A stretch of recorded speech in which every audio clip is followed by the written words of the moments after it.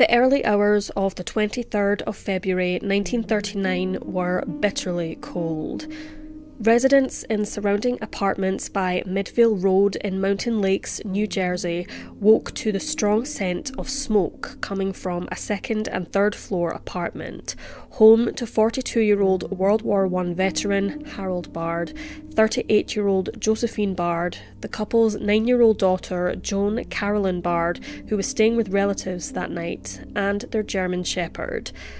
The fire department successfully extinguished the fire. However, Harold and Josephine, along with their faithful dog, did not survive. The circumstances surrounding the incident were shrouded in mystery. Harold was found on the floor with the telephone gripped in his hand, and his wife, Josephine, was sitting on a chair. Both had allegedly died due to smoke inhalation. Arthur Hamilton, a neighbour of the family who spoke to the Boston Globe, stated, One of the most unusual things about that fire was the dog they found. The Bards had a huge German Shepherd police dog, and he used to bark whenever anyone went near to the apartment. But after the smoke had cleared and firemen were poking through the ruins, they found the dog wrapped up in a blanket in the basement. It appeared that someone had put him to sleep before the fire started. The Bard's dog was very well known in the community, and witnesses confirmed he had been strangely quiet that evening. There is little information about whether there was an inquiry into the Bard's deaths. However, one fact was certain Joan Bard was suddenly an orphan. In a bizarre twist, in the early 1960s, Joan disappeared in mysterious circumstances, leaving her husband and two children behind. Joan was born on the 12th of May 1930 in Brooklyn, New York. Not much information is known about her early life. However, following the suspicious fire when she was nine years old, she lived with a foster family and went on to adopt their surname, going by Joan Nattrass. She had two foster brothers and one foster sister. There were rumours that she told an acquaintance that she had suffered abuse at the hands of her foster father. In 1952, she graduated from Wilson College in Chambersburg, Pennsylvania, with a bachelor's degree in English literature. She met Martin Donald Risch, a Harvard business graduate, at a football match, both of them immediately getting along as they realised that they were both born in Brooklyn. And on the 26th of December 1955, the couple married in Huntington, Long Island, moving into a simple yet cosy Brooklyn Heights apartment the following month. Martin was employed at the Regal Paper Company in New York, and Joan worked as a secretary at Thomas Y. Crowell & Co. Publishing Company.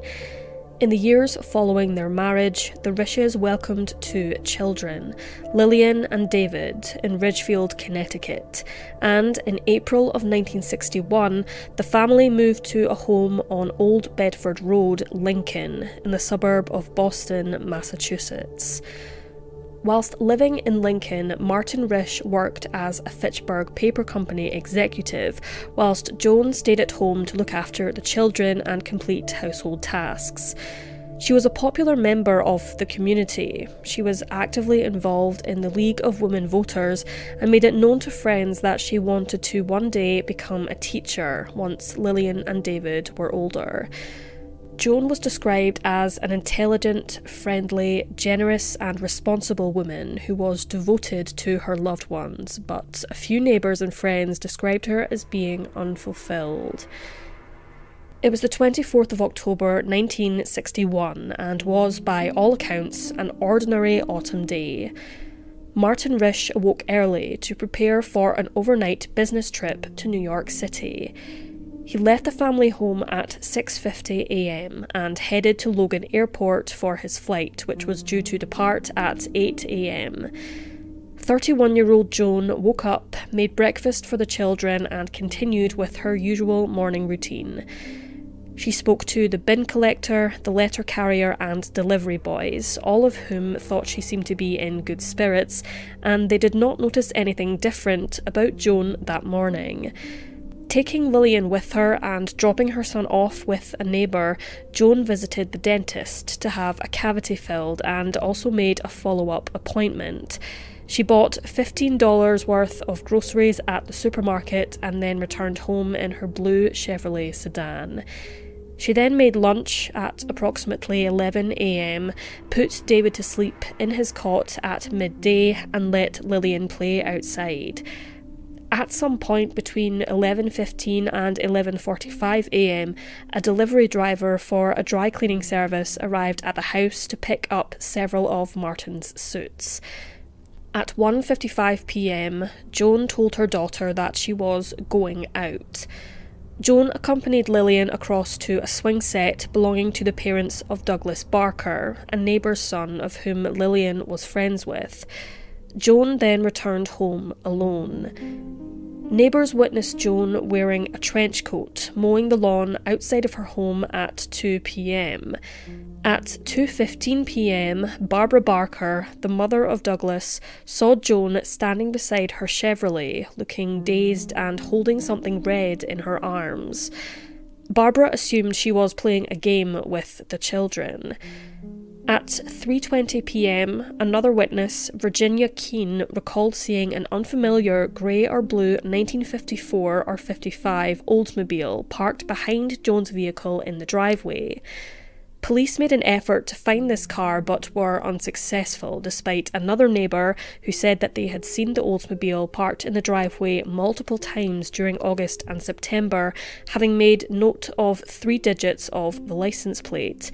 Nobody reported seeing the vehicle entering or leaving Old Bedford Road. At 4 pm, Lillian Risch left the Barker residence and returned home. However, after a few minutes, she ran back to the Barkers, explaining that her mother was missing, her little brother was crying in his crib, and there was red paint on the kitchen walls and floor. Barbara Barker went over to the house, and what she saw sent chills down her spine. Police were notified at 4:33 p.m. and arrived at the Risch home 5 minutes later.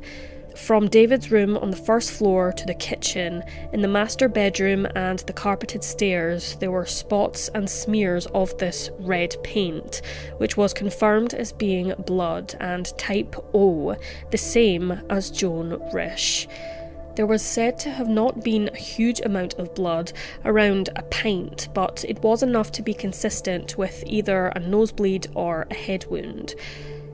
The kitchen was left in a state of disarray, with a chair or table being overturned. Sources differ on that fact. And the telephone had been ripped from the wall, sitting in a bin which had been moved from beneath the kitchen sink to the centre of the floor. It had blood in the dialing holes, and traces of Joan's blood were also found trailing outside and on the trunk and hood of her car. On the phone mount, police found a bloody fingerprint, and there were two further single fingerprints and a partial palm print on the kitchen wall. However, the individual whose prints they were has never been identified. Some other prints were identified as Joan's, despite the police having never recorded her fingerprints until a while later. Local men, as well as tradesmen and delivery men, offered their prints to authorities, but no match was made. Footprints were absent at the scene, but paper towels and a pair of David's coveralls had appeared to have been used in an attempt to clean up the blood, and the telephone book was found opened at the emergency number section, which was actually absent of any numbers written on the pages. And in 1961, 911 was not in operation as an emergency number. None of the locks on the doors had been tampered with, and there was no evidence suggesting a robbery. Massachusetts State Police called hospitals in the area to see whether a woman matching Joan's description had checked in, but they were unsuccessful in the search. On initial investigation, police deduced that, contrary to the evidence, Joan was surprised by an intruder and tried to call for help, quickly looking for an emergency number to call. However, she was then struck on the head by the perpetrator. One blood spatter was found so highly on the wall, police were stated as saying that Joan had attempted to climb the wall because she was so terrified. Police believed that Joan was victim to a sex maniac and had been abducted, as they believed the blood evidence was not enough to indicate murder by stabbing or gunshot wound. Martin Risch was notified of his wife's disappearance at 7 pm that evening and rushed home. Trying to find any clues, Martin found Joan's trench coat, her handbag, and some cash. However, he stated to police that an address book, which Joan wrote various appointments in, a grey top coat, and her day clothes were missing. Empty beer bottles were found in the kitchen bin, but Martin had no idea where they had come from. Police initially had suspicions about Martin and whether his marriage was as wonderful as he had made it out to be. Friends, relatives, school officials, former employers, and maternity personnel from Lincoln and Ridgefield and other places Joan lived in life were able to support Martin's claim and state she had no emotional problems or domestic issues. Woodland, marshes, ponds, and ditches were searched, as well as garages and abandoned buildings. However, Joan was nowhere to be found. A neighbour, George Robichaud, received a mysterious phone call from an excited woman who stated that she couldn't get through to anyone in the Risch household before abruptly hanging up.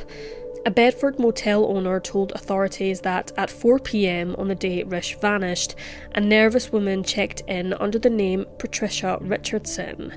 However, what was quite unusual to the owner was that she carried no luggage or even a handbag with her. Her writing on the register was described as shaky, and upon seeing the writing for himself, Martin Risch was not certain if the handwriting was that of his wife. At 2:45 p.m., a woman wearing a handkerchief over her head was seen shuffling north of the parkway in Lincoln, hunched over, looking cold and dishevelled. A cab driver in Cambridge recalled picking up a woman matching Joan's description. The unidentified woman appeared to be confused and repeatedly changed her destination on the journey. She paid the driver $5 from which she took from a little paper bag she had with her. A young intern in Stoneham Hospital, Massachusetts, reported that Risch was a patient of his, but bizarrely, the patient was not the missing woman, but another woman of the same name who had recently married. En route 2A, a motorist reported seeing a female hitchhiker around the time Joan disappeared, and another driver reportedly witnessed a woman matching the 31 year old's description walking along Route 128 in Waltham near Cambridge Reservoir, approximately five miles from the Risch residence. The woman seemed disorientated. She apparently had swollen legs with blood or mud running down them and was clutching her stomach. Nobody stopped to help her. The reservoir was searched, but nothing of any significance was recovered. It is possible that she may have fallen into a pit along the route which was under construction at the time, however, the area has never been excavated. Blood samples from the kitchen were sent to Harvard Medical School for further examination, and the findings indicated that the blood was consistent with menstruation. It was also stated that Joan may have suffered a sudden hemorrhage, which could have resulted in amnesia. As soon as this information was made public in the media, whispers of a miscarriage or abortion became rife. It was theorised that Joan may have suffered a miscarriage and had subsequently run away to start a new life with a lover. Joan could possibly have had an at home abortion which was botched. Abortion was very much a taboo subject at the time and was deemed a criminal offence. Lincoln residents told police that on several occasions they had been asked by an unknown man about the whereabouts of Joan Risch. A woman reportedly received a phone call from an unidentified individual who asked to speak to Joan. Another woman stated that a man had approached her in the street asking to see Joan Risch. Another said that Joan was absent from the family home for two hours the day before she disappeared, and police were unable to find out where she was, what she was doing, or who she was possibly with. Joan could have been the victim of a stalker. A neighbour allegedly heard the garage doors at the Risch house open and close at odd hours of the night, which brought about another chilling theory that someone could have been living in the Risch home without anyone noticing. Perhaps the person was living in the garage, which actually had a large window with full view of the interior of the house. Perhaps the perpetrator crept into the kitchen through the front door when Joan was mowing the lawn. One man who was seen as potentially being a suspect in Risch's disappearance was 47 year old Howard Cooper, who was a fugitive from the law when she vanished. He had twice been committed to a mental hospital in Texas after being charged twice with assault with intent to kill. A man matching Cooper's description was seen working at a restaurant in Lincoln and was never seen again after Joan's disappearance. In the weeks and months leading up to Joan Risch's disappearance, she had visited the local library on a weekly basis and had taken out at least 25 books. Of the books she checked out of the library, they included Death of the Heart, which had a striking plot of an orphan girl who disappeared. Other titles she read were Into Thin Air, which told the story of a married actress who vanished, leaving a towel and bloodstains behind as clues. Mostly Murder, which discussed numerous murders and disappearances. The Screaming Rabbit, a mystery book with vanishing as a theme. The 27th Wife, a biography of a married woman who disappeared. Incense to Idols, the plot of which involved a woman who fled Paris to begin life anew in New Zealand.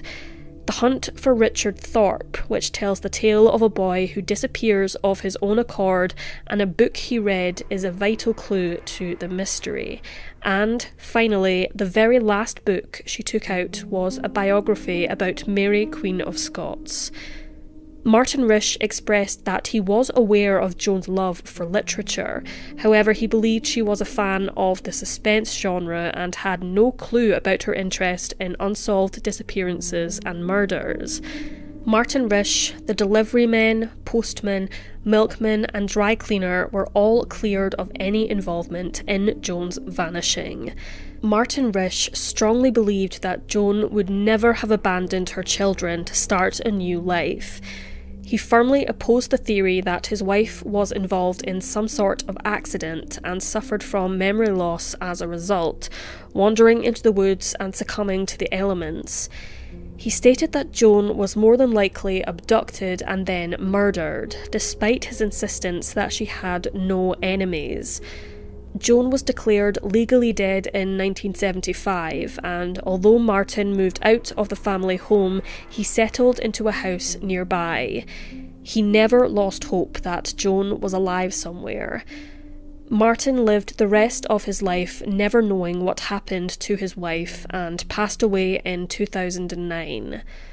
Five weeks after Joan Risch disappeared, an anonymous donor left a potted plant on the Risch's doorstep, something which was seen as significant as shortly before Joan had vanished, someone had left geranium plants for her. At the time of her disappearance, Joan Risch was 31 years old, Caucasian, had dark brown hair and pale blue eyes. She was 5 feet 7 inches tall and weighed approximately 120 pounds or 54 kilograms. She was wearing a grey cloth coat of possibly the Peck and Peck brand, a white blouse, a jumper, a charcoal coloured woolen skirt, blue shoes with white piping, although some sources stated black shoes, and wore a slim platinum wedding ring with five diamonds. She has a filling in her upper left molar and her ears are pierced. The disappearance of Joan Risch is one of the strangest and most bizarre disappearances to have taken place in the United States of America, and is a very well known case among professional and amateur sleuths. With no apparent trouble in her relationships, no money problems, or obvious signs of emotional turmoil, the reasons for Joan's disappearance have been widely debated, with numerous theories about what fate befell her. Did she leave of her own accord and plan her disappearance? Did she dream of starting life anew, like in the books she was so passionate about? Was the unidentified individual who was at the house someone that she knew and trusted? And was she having an affair? If she was pregnant, was the child her husband's? Who was the woman wandering aimlessly on the highway with blood on her legs and cradling her stomach? A theory that is widely discussed is that Joan suffered either a miscarriage or had an abortion at home. The termination, which presumably took place in the master bedroom upstairs, went wrong, and Joan went into a panic, went down to the kitchen and tried to call for help, but was stopped by whoever carried out the abortion, because if word got out that they were conducting illegal practices, he would have been stripped of his presumed medical license and the pair would have more than likely been incarcerated. The abortionist may have carried Joan's body to his vehicle and driven off, perhaps dumping the body somewhere like a pit on the nearby construction site, or abandoning her alive on the highway, disorientated and bleeding. Also, an explanation for the beer bottles in the bin, which was a piece of evidence that perplexed many, was that during the 50s and 60s, beer or Guinness was given to patients in order to boost their iron levels.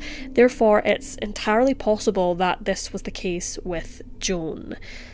The last official investigators on the case died in 2009, and ever since, the case has remained cold. In the last few years, interest in Joan's disappearance has spiked enormously. However, the truth about what happened to Joan Risch remains a mystery.